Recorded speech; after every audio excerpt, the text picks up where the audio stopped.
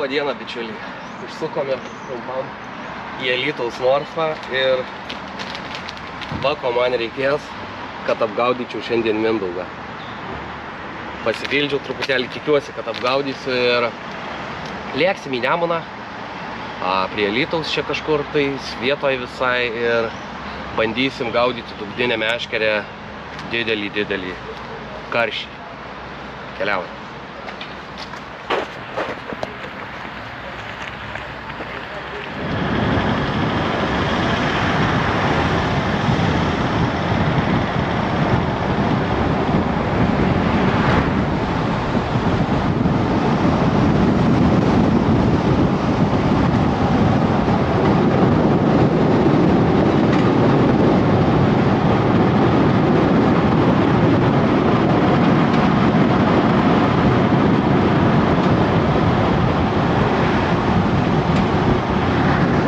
Atvykome prie Alytaus gražiojo piliakalnio, prie Nemuno žmonių, kaip visada. Čia daug vienas niekada nebūna taip, kad žuvautum. Mindaugas užtaisęs jauko, gaudysim vienodų kažkokiu tai jauku, nežinau, ką jis ten maišė iš tikrųjų. Tai va, kas su paspirtukais atvažiuoja, kas su dviračiais, kas pieškom. Einam ruoštis įrankius ir pabandysim suviliot, kaip jau minėjau, kažką tiesiog. Sekmadienis, oras puikus, žmonių kaip visuomet daug, aplinka sutvarkyta. Iš tikrųjų, kas dar nesate buvę Alytuje, tai tikrai kviečiu atvykti, nes, nu, turim nemažai nuostabių tiltų. Kaip ir čia va šalia mūsų yra Baltosios rožės tiltas, pieščiųjų vadinamas, tai tikrai yra į ką pasižiūrėti.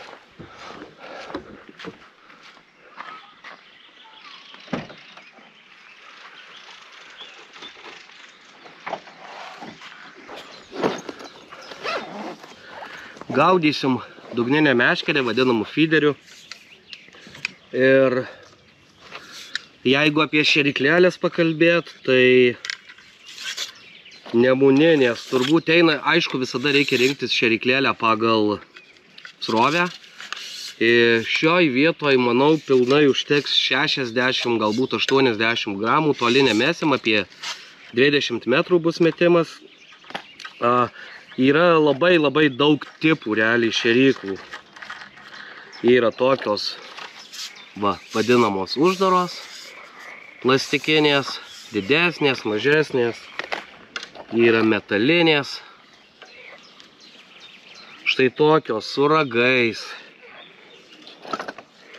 be, be ragų, su mažais ragais. Žodžiu, šeriklelių yra įvairiausių tipų. Aš gaudysiu turbūt šiandien atvirą šeryklą. Va, pasirinksiu su ragais 60 gramų, jeigu e, pardavime jos būna tokios, galima tuos ragelius va taip va, va ir net negalima, o iš tikrųjų reikia va taip va juos užlenkti ir kada pradedu žuvauti, visada darau tą startinį pajaukinimą. Tai startinis pajaukinimas būna daromas su ganėtinai didelė šerykla, va kaip šita, o po to gaudoma su truputėlį mažesnė. E, startinis jaukinimas irgi skirtas tam, kad greičiau prisikviesti tą žuvį. Čia dabar kaip yra nemažai žmonių ir dabar ir tiek visą laiką gaudo, tai turi kažkokį tai padaryti išskirtinumą, kad juos apgaudyti, kad greičiau pas save susikviesti į tą vietą, į tą vadinamą tašką, o ne kaimynas. E, kas liečia masalus, tai turime e, musės lervų, vadinamų dzikelių ir uodo trūklio lervų, tai yra matiliukų. Sliekų kažkaip net neturiu, nes visgi, va, matėliai kokie gražus, nes visgi e, gamta sako, jeigu anksčiau gaudydavome sliekais dažniausiai, kruopam kažkokiom gamta, sako, kad tikrai reikia gaudyti matiliukų. Nemunas dumblėja ir stipriai dumblėja.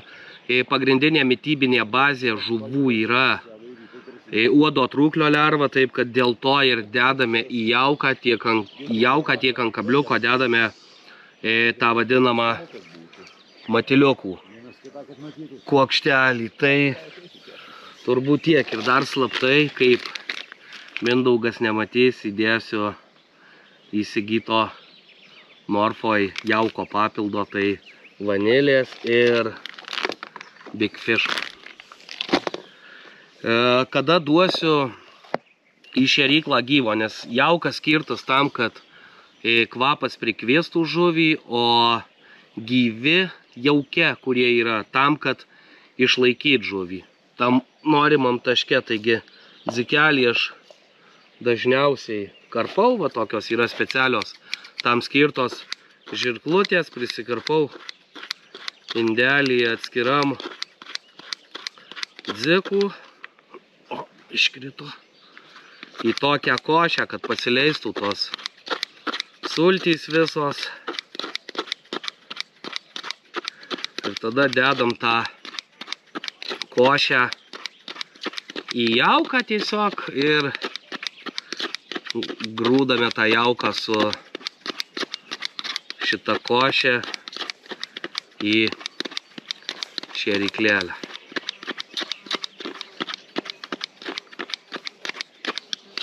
Va gaunasi tokia tyrelė, košelė.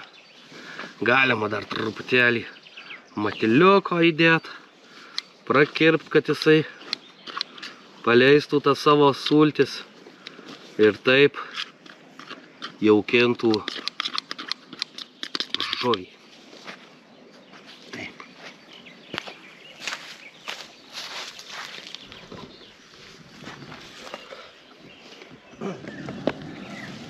Kada pradedu žūklę ir darau tą vadinamą startinį jaukinimą, visada jį darau be pavadėlio. Pavadėlio, kaip matote, nėra. Gaudau pintų valu.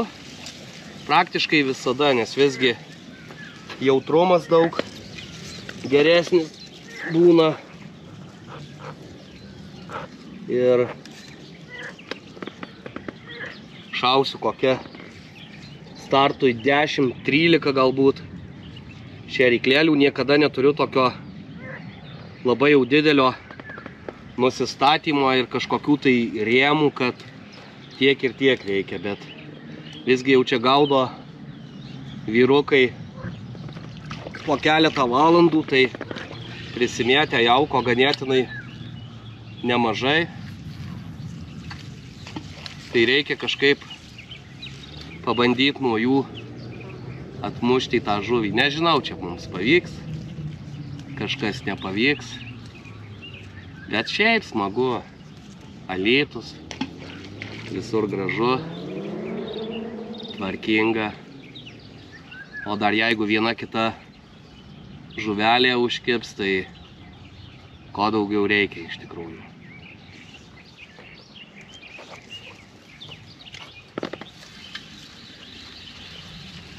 E, Kada gaudom toks vadinamas tas taškinis gaudimas, nu ta prasme užsiklipsuoji, užsiklipsuoji, tai reiškia, kad pasirenki vietą ir užsikabini ant trėties to vadinamo klipso, kad kristų, opa, čia kažkur užsikabino, kad kristų šėryklą ir masalas į tą pačią vietą visą laiką. Tai va taip va. Meškerė 390 ilgio iki 120 gramų užmetimo visgi nemune. Visada reikia tokių galingesnių kotų negu kad ežeruose.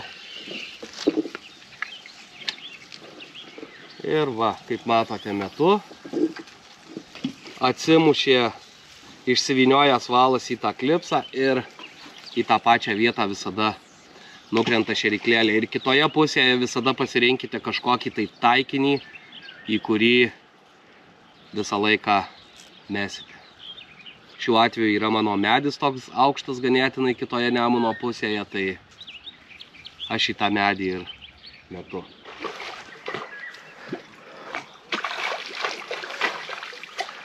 Pirmasis laimikis pas Mindaugą.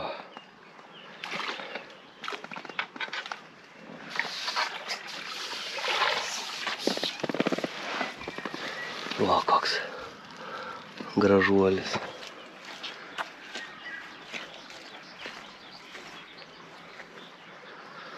Aš dar kol kas nieko, Mindė. Pirma, vienas nulis. O biški žaizdotas koks. Jo, Reikia paleisti, lai gyvena. lai gydosi. Gydosi.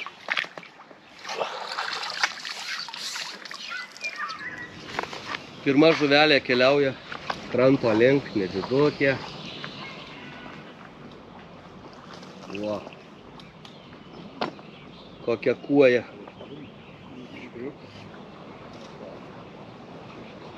Saviniai didesnė buvo, bet panašiai. Buvo tokia. Karčių dar kol kas netėjo, gal jų net ir nebus. Bet nutikėtis reikia. Dažniausiai pirmiausiai jauką sureaguoja mažesnė žuvis, o po to jau, kada stoja karčias į tašką,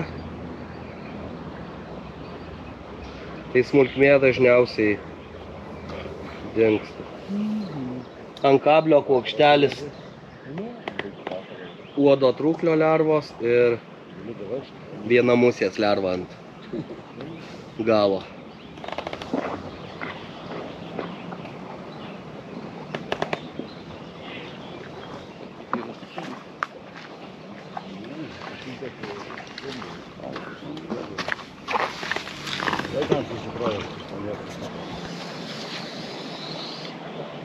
Kaip ir sakiau, pradžioj pasirodė mažesnė žuvis, o dabar jau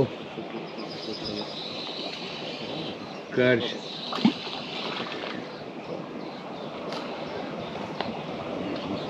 Opa, neturiu net graipštelį.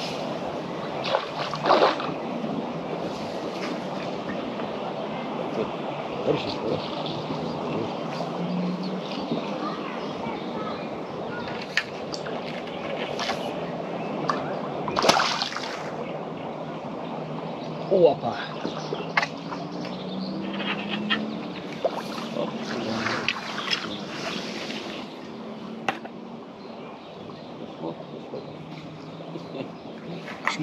Pažiūrėk, matė ar gerai ten rodo kryptis. Bet reiškia, čia jų yra. Jų yra. Tik reikia sutaukyti. Tai va, kad matyt. O, koks gražuolis. O daug kas sako, ai, niekas čia negrįžta. Keliauja jisai namolio.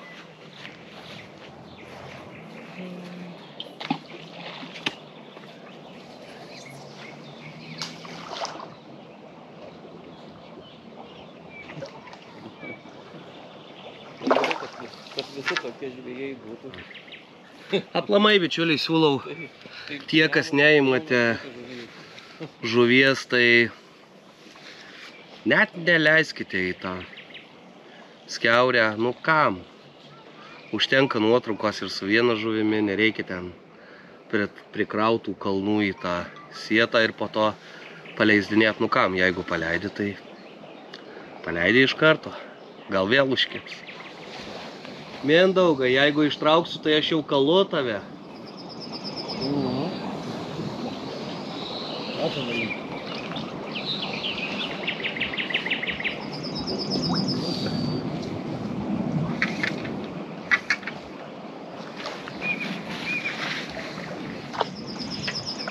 Arba nemodės.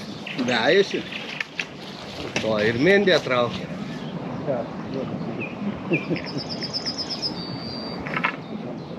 Mano didesnė. Didesnis, mano net nedidesnis. Va, koks keliauja. Atgaliuo.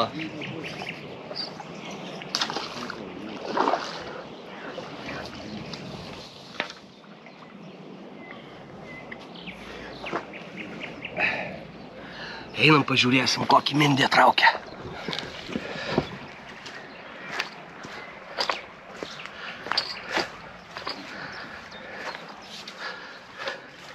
Oi, mano didesnis mindė.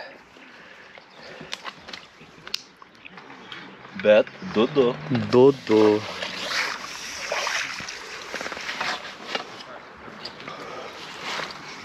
Va, koks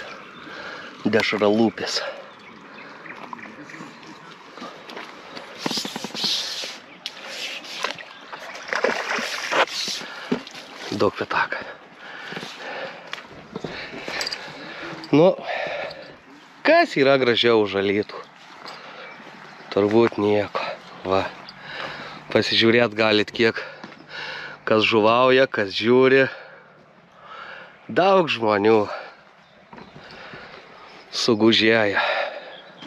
Kada gaudavau arčiau tilto, kaip matote tiltas va, tenais, tai vis girdisi garsai nuo tilto. Maudė, sėkmės, ar pagauni.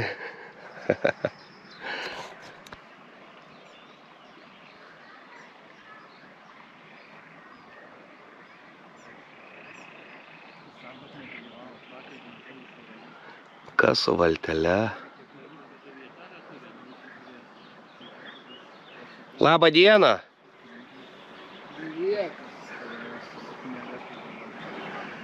Šitas vyrukas visą laiką gaudo iš valtelės. Jam nuo kranto nepatinka. Jam patinka valtelė. Didelis karštis turėtų būti. Opa.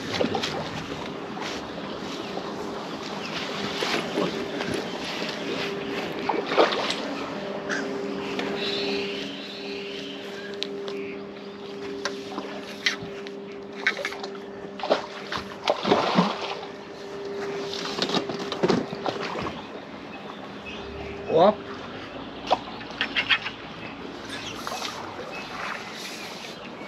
Mendė gauni jau.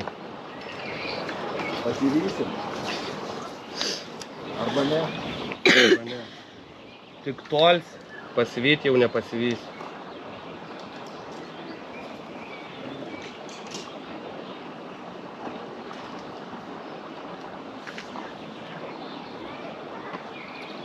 Geras. Va koks. Žuveliokas. Eilinė diena rojui. Ir karšį traukiu aš. Oi, ne karšį, kibryt.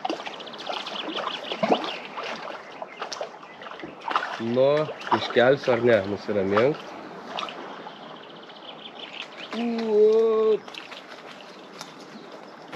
Papa. O, kokia kuoja. Gražuolė.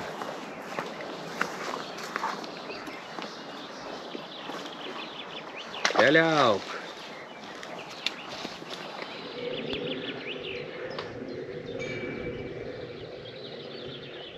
Žmonių kaip per varžybas. Ir iš manęs atėmė meškerę. Nori pagaut karšį gedukas. Žiūrovų irgi su kiekviena minutė vis daugėja.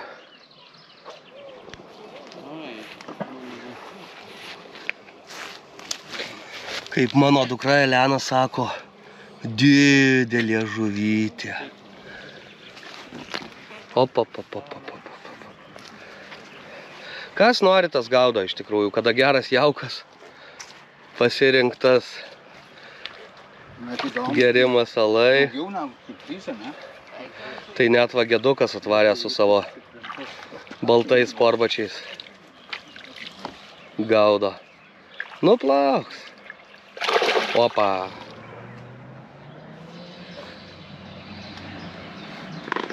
Pasilginau pavadėlį nuo metro 80 iki 2 metrų ir pirmas metimas ir eilinis karšis keliauja graipšto. Niuansai. Oi tu. O tai drūtė.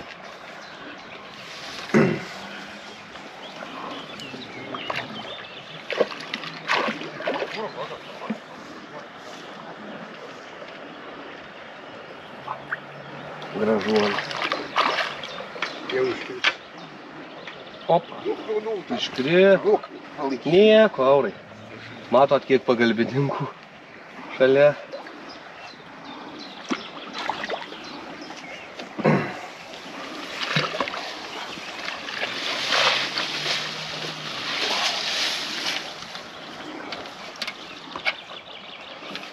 Didelis. Op, op, op, op, op. Eh, tie trumpi pirštai. Tai pagalvoju. Nu, baik.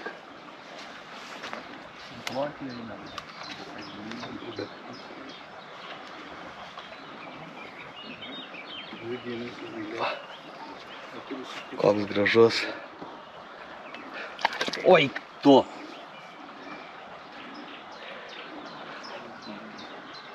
Karšiokas.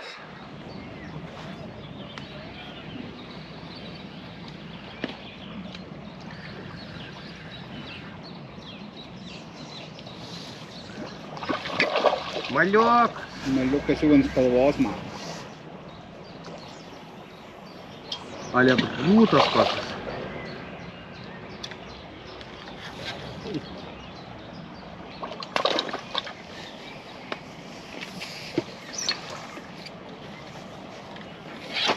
Opa. Nėra vietos.